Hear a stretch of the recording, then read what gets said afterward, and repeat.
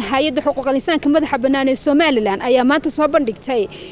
Buuggoodii sanadlaha ahaa oo sanad walba ay soo bandhigaan ugu horeyna waxaa halkaasi ka hadashay agaasimaha hay'adda xuquuqal madaxa bannaan ee somalilan yaasmiin xaaji muuse.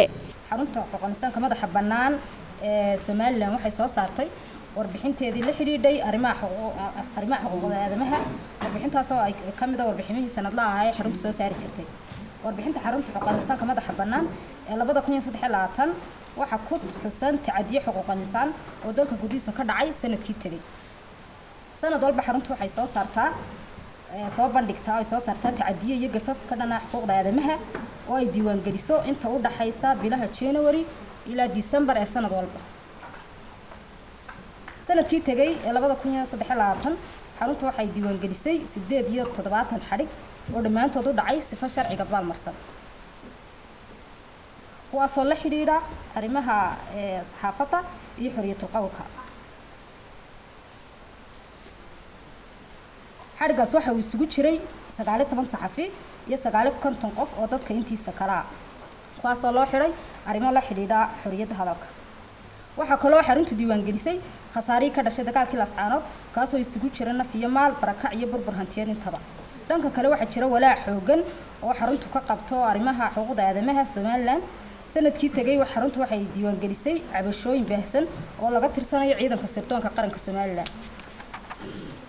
sirdoonka qaranka somalilan tacdiyada laga tirsanayo waxaa ka mid a ay isugu jiraan xadhig iyo hanjabaado. Ay kula kaceen dad shacaba oon waxba galabsan. Taasoo ah arrin ku cusub saaxadda somalilan ciidanka sirdoonka qaranku dadka shacabka ay xidheen waxay ku xabisaan meela aan la garanayn waxaana caado noqotay in muddo la daydayo la isweydiiyo meelahay dadkaasi ku xidhan yihiin.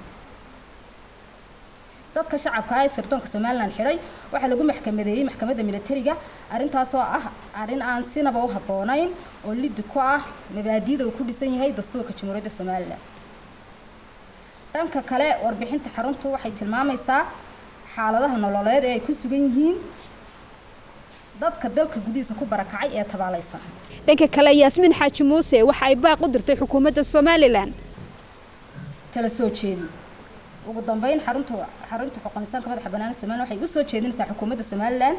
in la joojiyo xadhigga sharciga baalmarsan ee had iyo goor lagula kaco warbaahinta madaxa bannaan siyaasiyiinta iyo dadka kale aragtidooda cabira ee dowladda dhaliila in la ixtiraamo xuquuqda uu dastuurku damaanad qaadayo ee la xidhiidha xorriyadda hadalka iyo aragti dhiibashada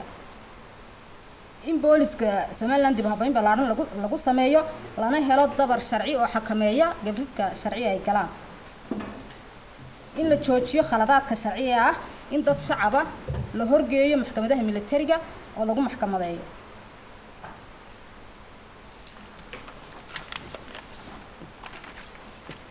in sidoo kale sirdoonka qaranku joojiyo xadhigga iyo hanjabadaha uu ku hayo dadka shacabka ee muwaadiniinta ah isla markaana uu ka waantoobo xadgudubka uu ku xadgudbayo xuquuqahooda. In baaritaan madax bannaan lagu sameeyo dhibaatadii dadka shacabka ahayd dadka shacabka ee ka soo gaadhay dagaalkii lascaanood iyo ugu dambeyn inay dowladda hoos u eegto lana socoto xaaladaha ay ku sugan yihiin dadka tabaalaysan ee ku nool goobaha barakacayaasha ee dalka gudihiisa hodan bahdoon saab t v. Hargeysa